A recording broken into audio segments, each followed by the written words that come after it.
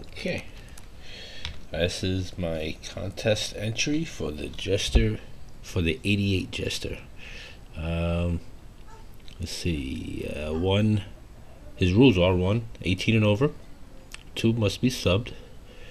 And three was how have you changed or evolved as a collector.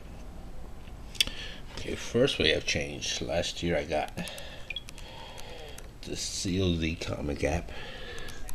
You can see that. Let me see. Yeah. Right, I paid like 15 bucks for this, and I categorize all my comics. You can scan them in and go to UPC or enter them in, you know, search it. That's by barcode. Or by series, you can put, let's say, Spider-Man, this Spider-Man. There you go. And it has all the different variants and the numbers and whatnot. I've used that. I got um, the BCW uh, drawer boxes. Short, short drawer boxes. The, the long boxes were too big. I got rid of all my long boxes. And um, I started using Mylites uh, for my uh, books.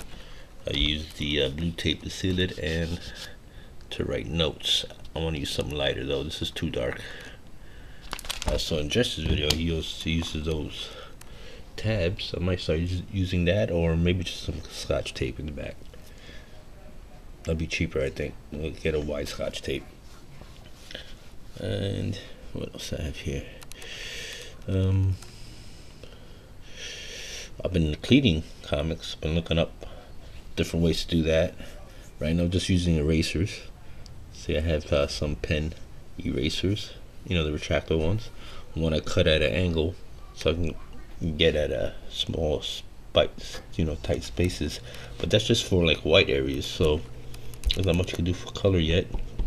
Even though I saw some document cleaning videos, and uh, I saw some products like a smoke sponge and some other things I might want to try. I want to pick those up and maybe do video on them. I don't know. And press I want to get, of course, everybody's pressing now. I want to try pressing books. Uh, um, yeah, that's about it. That's my submission to the Jester 88 contest, 100 subscription contest. Congratulations, uh, 88 Jester. Peace.